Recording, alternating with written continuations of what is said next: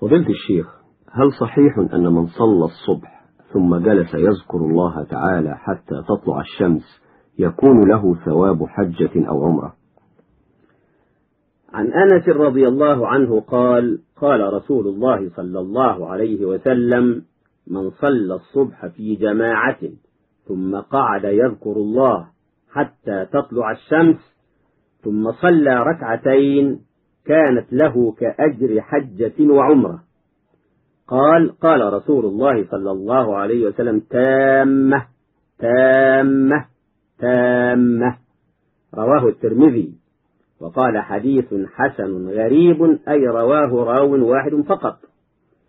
وجاءت رواية أخرى كما جاءت روايات فيها مقال لكن تقبل في فضائل الأعمال بهذا الثواب وبغيره. والثابت كما رواه مسلم وغيره أن النبي صلى الله عليه وسلم كان إذا صلى الصبح جلس يذكر الله حتى تطلع الشمس.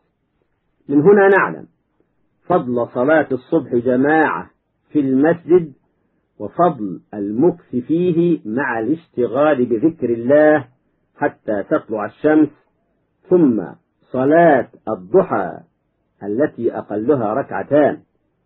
ولا يستبعد أحد أن يكون ثواب ذلك كثواب حجة وعمرة ففضل الله واسع يقبل القليل ويعطي الجزيل وذلك له نظائر كثيرة. وإذا كان النبي صلى الله عليه وسلم قد أخبر أن العمرة في رمضان تعدل حجة معه كما رواه مسلم فليس معنى ذلك أنها تكفي عن الحج إذا كان قادرا عليه بل لا بد من أدائه.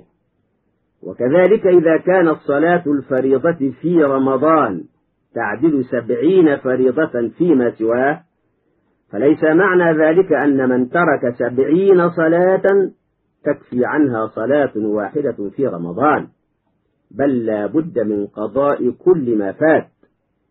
وكذلك إذا صح الحديث كما رواه مسلم أن الصلاة في مسجد المدينة أفضل من ألف صلاة فيما سواه إلا المسجد الحرام فليس المراد أن الصلاة الواحدة تكفي عن ألف صلاة تركها.